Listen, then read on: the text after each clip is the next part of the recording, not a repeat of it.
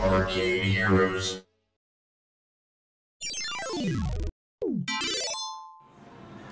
Hey everyone, this is Adam with ArcadeHeroes.com, and today I am tackling a subject that keeps popping up in comments on my videos, and particularly unboxing videos, and that is where do I buy these arcade machines if I want to buy them for my house?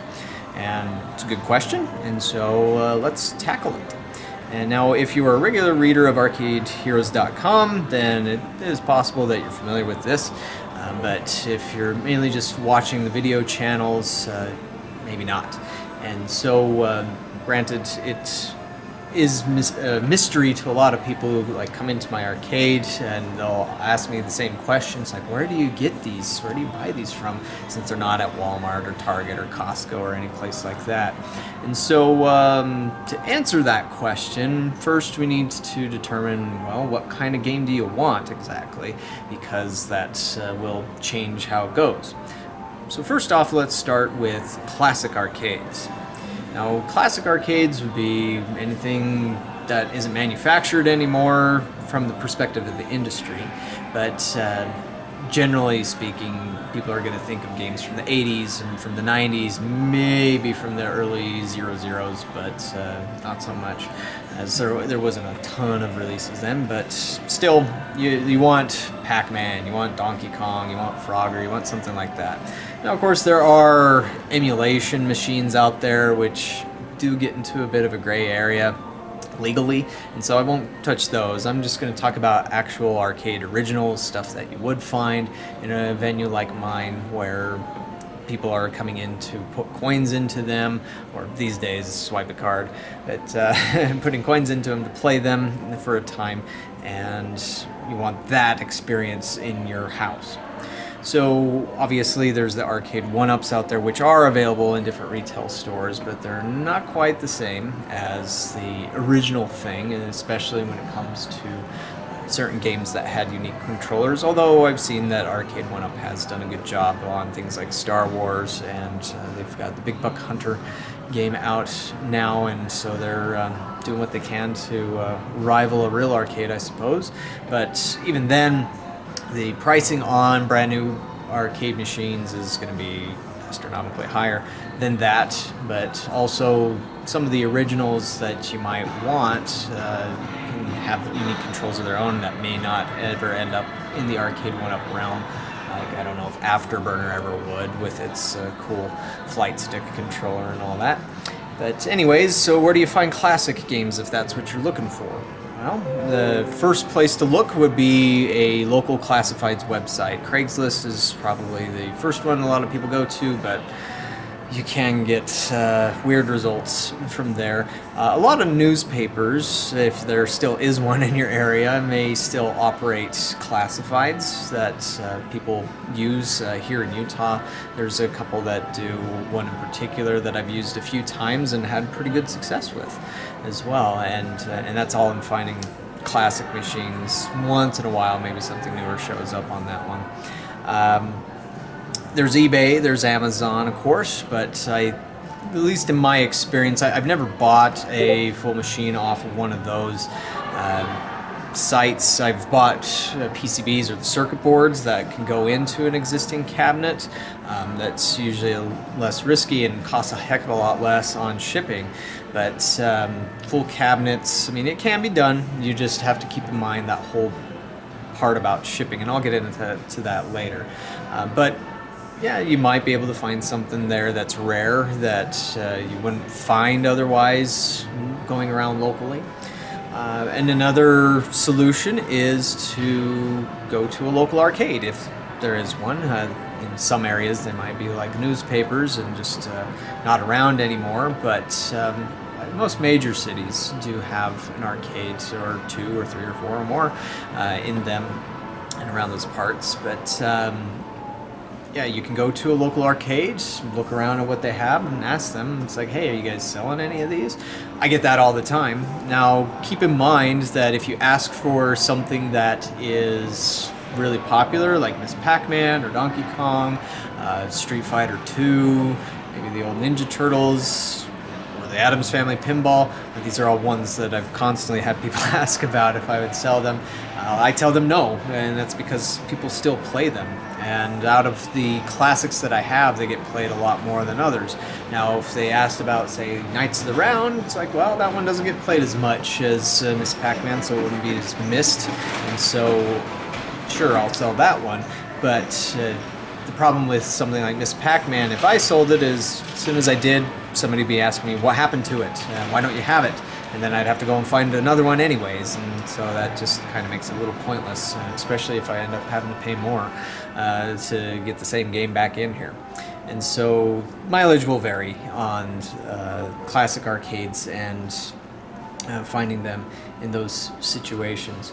Now, what about brand new machines? Let's say you're loaded and uh, throwing seven, ten, twenty, thirty thousand dollars at a machine is uh, up your alley, and uh, there are a lot of people that uh, do that that are in that class. Um, I when I sold arcade machines, I sold a lot into homes, and now most of them that I sold uh, were Golden Tees or Pac-Man arcade parties at the time. Now it'd be Pixel Bash. Uh, those are about three, four thousand dollars each. But once in a while, we get a call from uh, maybe an agent representing uh, somebody in Hollywood or um, something along those lines, where you know they had money and they wanted to have a full-on arcade in their mansion game room, and that's just fine. So, can you buy those machines? Yes, but uh, going through the routes that work for classic arcades are probably not going to work out for buying brand new machines, and so or even machines that may not be newer but are a few years old uh, already and no longer being manufactured. And so, uh, what is used by oper arcade operators like myself to get machines are what are called distributors. And distributors are essentially middlemen that uh, will send the order from the customer to the manufacturer. The manufacturer gets the game ready or games and sends that to the client. Now, of course, the distributor does more than just send orders. Uh, they'll arrange shipping, they'll deal with uh, the shipping insurance, and if there's any damage to the machine, I'll talk about that when we get into shipping and uh, they'll deal with tech support and all that. And so distributors, um, while many in recent times have been questioning why should we even have distributors, um, they do lighten the load a bit on what manufacturers have to deal with because um, otherwise they would it, it becomes uh, a little bit overwhelming for them to have to deal with all of those issues when they may just want to be focusing on developing games and developing um, uh, or producing those games as opposed to uh, meddling with all the sales stuff and minutia that goes on there. Um, but that said, there are some rare instances where you can buy a game directly from a manufacturer. Um, that don't expect it from Raw Thrills or Sega or Namco or any company like that. They will just tell you to go to a distributor, and they may have a recommended distributor for you to go to, but um, those exceptions come from indie games. And so stuff like Sky Curser, Cosmotrons, Killer Queen, um, oh, oh, actually not Retro Raccoons. Um, but most indie games uh, are sold direct to customers, and they might have something on their website, I have seen instances where they don't, um, but I've also seen where some of these indies are able to get on the websites for some distributors, and so that also might be a way to go if you want to. Um, the exA-Arcadia right now is mainly sold um, direct as well, and so uh, yeah, it just again depends on what machine it is that you're looking to get. Uh, one other question on brand new games before I get into who's who of the distribution side of things as well as shipping is um, are all games available for home users to get? And the answer to that is probably 98% are, but there are a couple of machines that are not. Now, of course, one of the videos that has produced this question more than any other is uh, Maximum Tune 5 by Bandai Namco. Uh, that particular game is not available for home users at this time, and that's because it does have an internet connection requirement as well as a fee per seat. And so uh, generally they just won't accept a home user in being able to get that. I mean, I don't know, maybe you could try and ask and see if they, they'd be willing to, if you're willing to pay. Um, those fees and whatnot, but uh, most likely the answer is no. And uh, that also applies to Golden Tee Live and the online commercial version of Big Buck Hunter. Uh, but both of those particular games do have offline or uh, special home editions that do have some online features. They just don't have all of the tournament prize features that the online commercial ones do. So you would get essentially the same game. It would just be if you want to compete for cash, you need to go out to your local bar or arcade to play those games. But otherwise, when you get a brand new machine into your house, they have free play modes once the game's set up, and you just go into the menu, set it to free play, and all you have to do is push start. Or if you do want to charge for it, if uh, you want to recoup your investment and use them as big piggy banks, uh, you can do that too. Uh, if you really want to, or if you're just setting up an arcade, a commercial arcade, uh, like what we do here, you need to go to distributor for most of those needs. Now, who's who of the distribution side of the business? Um, I'll use the directory on arcadeheroes.com where uh, it's under links on the site. And if you scroll down a little bit it will come to arcade distribution parts and repair.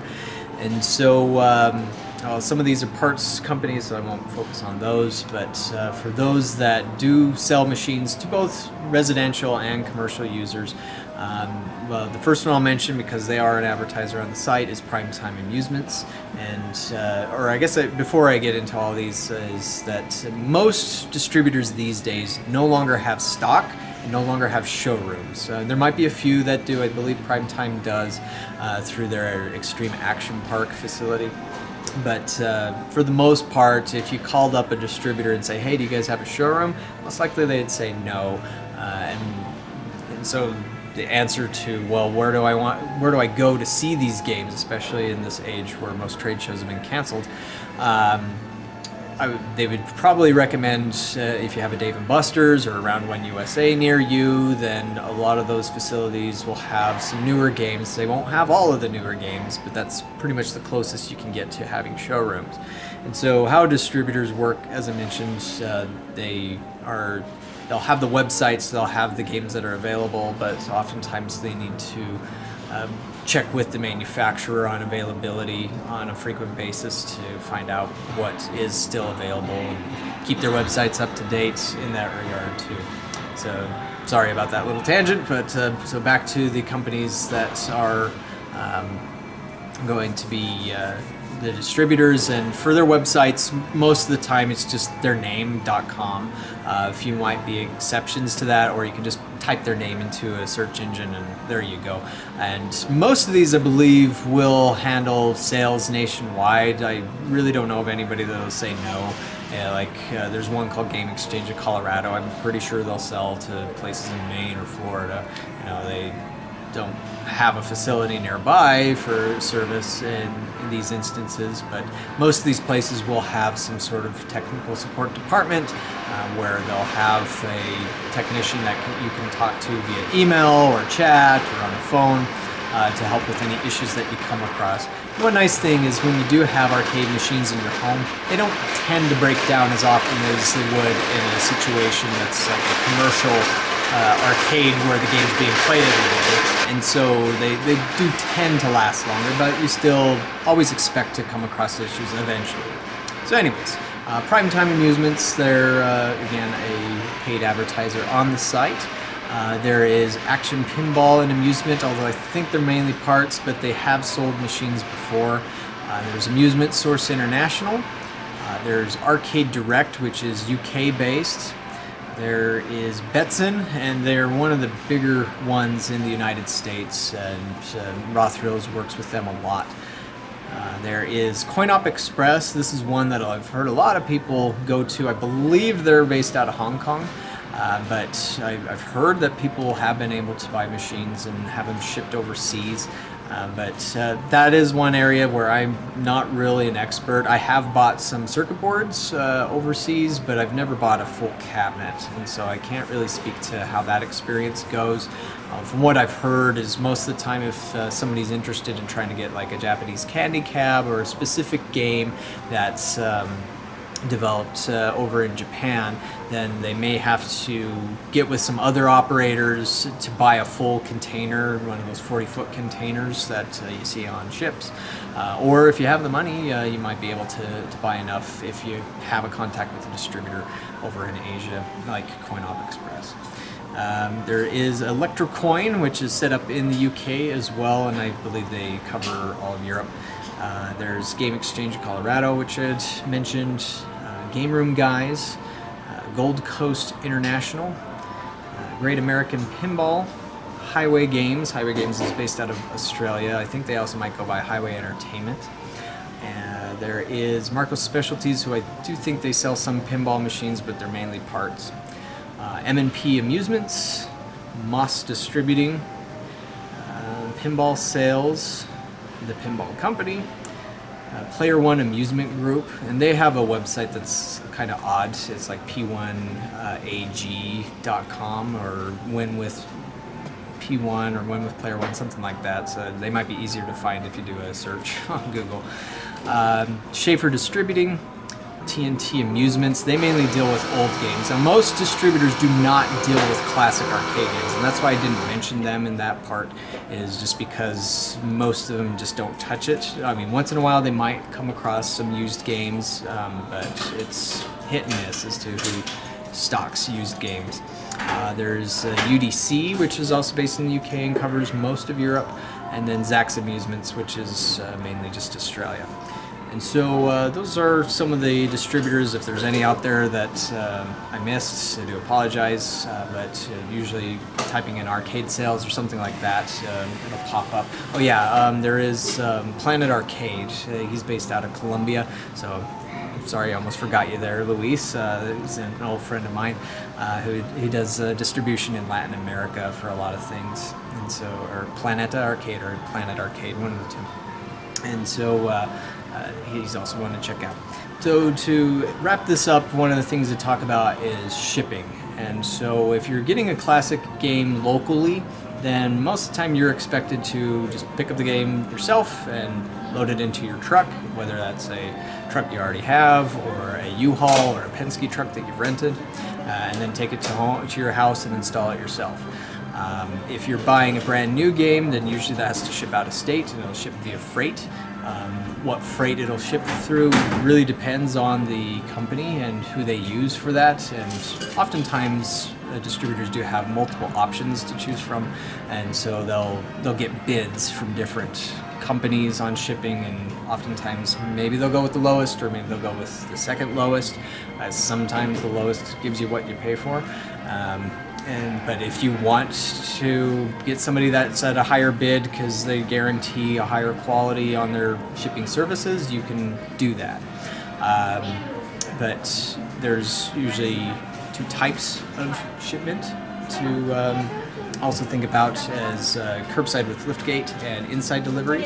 Just note that inside delivery is a lot more expensive, especially if you have stairs, uh, or if you were buying something enormous like a shuffleboard, like a 22-foot shuffleboard. Um, they may have to pull out the windows. They may have to rent a crane, so that can cost several thousand dollars just to get that uh, into a house. In that particular situation. That's something I remember from when back when I was selling games. Um, but uh, one other really important note is that when you are dealing with freight, then you get a game, inspect it. Do not sign for it if it is damaged. If you do that, then you're out of luck because the insurance will not cover it. And so um, inspect it, talk with the shippers if it is damaged, call your distributor immediately if it's damaged, and they can work it out. But if um, again, don't sign for it if it's damaged. Now, uh, another thing that becomes confusing for some people when they're looking to get an arcade machine for their home is financing. So, let's say you don't have all the money to buy that machine right up front. Well, um, financing, well, from my experience, most distributors do not offer any kind of residential customer finance deals. And so, like, sometimes you'll see distributors promoting, like, uh, get uh, this machine for 36 months, 0% APR, whatever.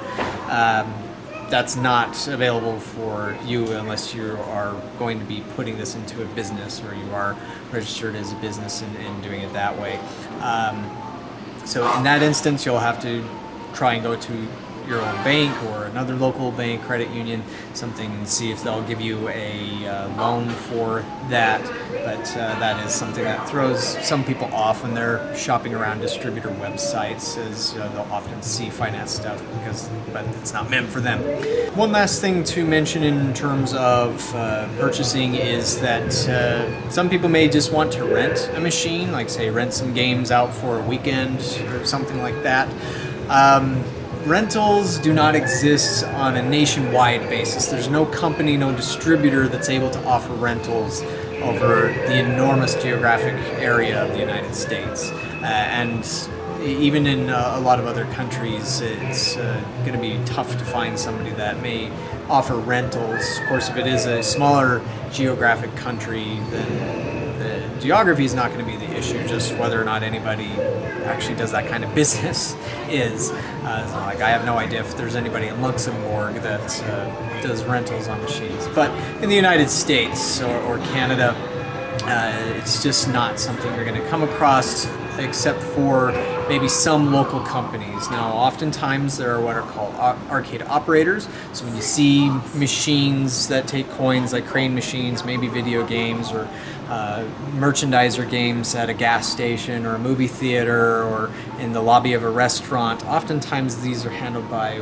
these uh, small business owners called arcade operators and sometimes on those machines they'll have stickers with phone number and it'll say maybe for service or for sales call this number. Um, you could contact somebody like that if you see anything like that in your area but what they might have available may not be what you want.